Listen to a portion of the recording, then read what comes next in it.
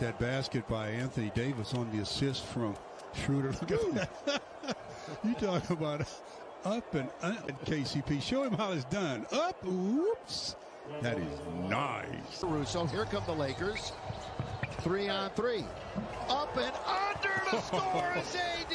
Oh. What a oh. move. Well, he looked like a six foot. This might be the play that had him bang up that arm a little bit. It was right after that he grabbed it. Yep.